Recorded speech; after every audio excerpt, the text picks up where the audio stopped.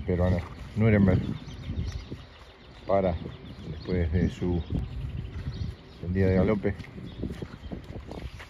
¿Cómo se encuentra esa cancha?